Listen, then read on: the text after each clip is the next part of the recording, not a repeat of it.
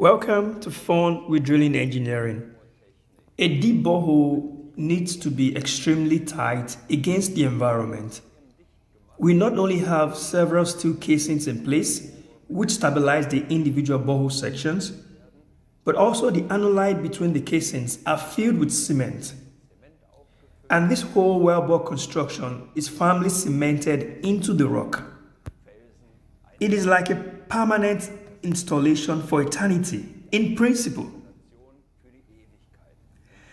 But it happens, nevertheless, again and again that such a borehole construction has to be dismantled. This is a rather difficult thing. The only way to get it done is to run a milling assembly into the borehole and mill away the whole structure of steel and cement. Of course, that is pretty rough procedure. It makes a lot of noise and generates a lot of chips.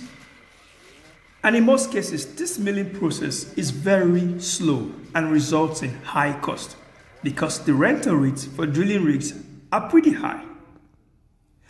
Therefore, the drilling crew sometimes tries everything to somehow increase the speed by applying more weight on the mill, increasing the drill string RPM, and so on and so on. But actually, high weight on mill and higher RPM does not necessarily result in high milling speed. It is more related to the chip shapes that result from the applied milling parameters. We can demonstrate this on our lathe machine in the workshop. If we change the operating parameters just a bit, we can sometimes produce short friable chips or even long continuous chips like this we also have a milling test rig at our institute. We use it for small-scale simulations of milling processes in deep boreholes. Here too, you can see very clearly that they are longer and sometimes shorter chips depending on which operation parameters are applied. Not all chips are really suitable for milling operations. The chips that I prefer for milling operations are these very small chips, as you can see here. They can be easily removed from the borehole by the drilling mud.